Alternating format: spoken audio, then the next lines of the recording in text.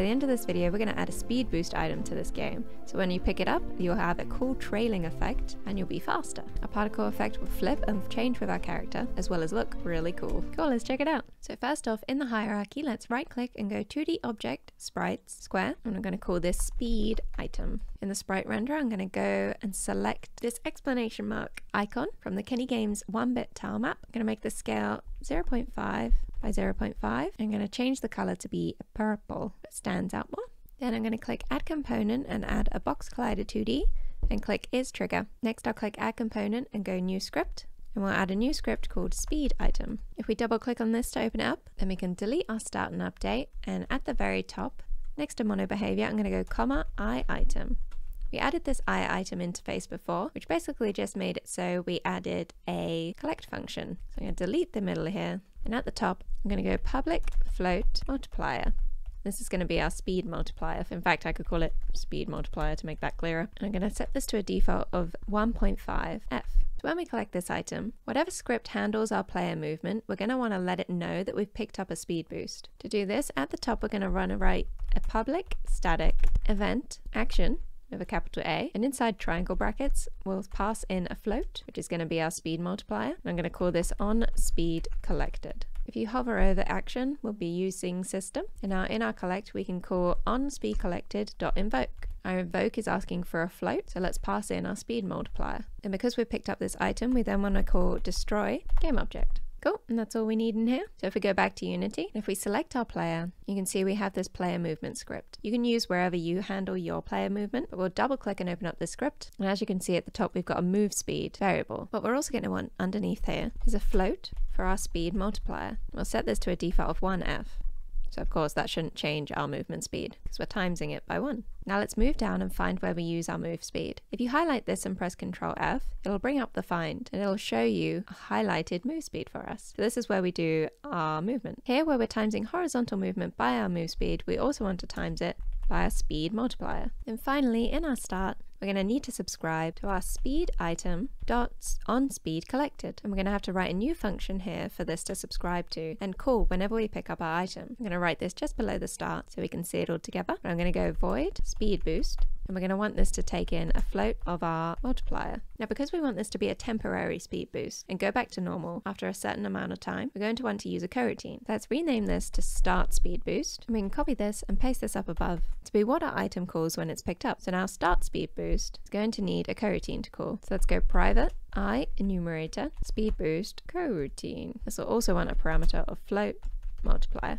Also in here, nice and easy, we're going to want to set our speed multiplier to be the new multiplier passed in. We're going to want to yield, return, new, wait for seconds. Let's wait two seconds. Then after two seconds, let's set our speed multiplier back to one. Now in our start speed boost, we can go start coroutine, pass in speed boost coroutine, and in here, pass in our multiplier. Cool, and that's it. Let's go back to Unity. I'm going to move my speed item down to the side. Now on our speed item, you can see our speed multiplier is set to a default of 1.5. So this should increase our speed by half on top of what we already have. I'm going to set this to something really high just so you can see it like free. Press play. When we pick up our item, this is how fast we're currently running. Oh my god, enemies, quick! Get the item! Whoa! Okay, that's very fast. And then after two seconds, we go back to normal. To make this easier to visualize and make it a little bit cooler, like we did for turning and jumping, we added particle effects. So let's add a particle effect for our speed boost. On our player, if you open up, we can see we've got this smoke FX, which we're currently using for jumping and changing direction. Check out that video if you're interested. So let's make a new one for our speed boost. I'm going to right click on our player and go effects, particle system. I'm going to rename this speed FX. The duration we won't care about too much. I'm going to set it to zero because we do want this to be looping this time. Our start lifetime will be 0.5 and our start speed is going to be one. And I'm going to make our start color half transparent around 150. The simulation space is going to be world and I'm going to set max particles to be 5 and play on awake is going to be false. That's it for the top bit. Emission we can leave as it is. And the shape I'm going to set to sprite and then the scale to be 0, 0, 0. Then I'm going to tick on velocity over lifetime and I'm going to set linear x to be minus 0.1 and linear y to be minus 0.1 and we'll change the space to be world. What this will do is as we move, it'll fly off behind us. Next, color over lifetime I'm going to tick on. Click on this and then at the top right tag, set the alpha to be zero. So our sprite will fade away over time. Then texture sprite sheet animation. Tick this on. Set the mode to be sprites And then here we select a sprite. So from our tile map, I'm going to select the image of our character walking. Then finally in renderer, on order in layer, I'm just going to set this to minus one just to make sure it goes behind our player. And in renderer as well, on your material, you're going to want to pick sprites default. And that should be it. If we turn on play on awake and press play, we can see we now have this cool effect where it looks like our player is going so fast that it's got like a stream of ghosts behind it.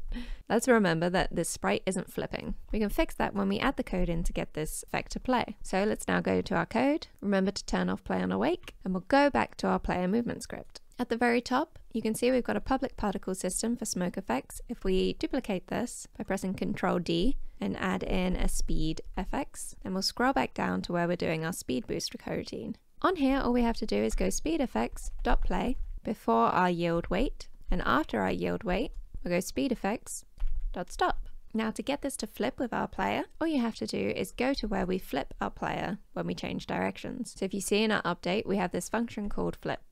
I hold down control and click, we can see we're passing in this local scale to our transformed local scale of our player. This is making our player's sprite flip.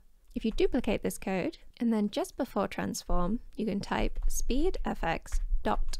So we've got speedfx dot transform dot local scale equals our new local scale. This will make our particle sprite flip with our player. So cool, if we save this, go back to Unity, and in our player movement script, don't forget to drag your speedfx object into your speedfx slot inside player movement. And I'm also going to go to our speed item and set this back to 1.5.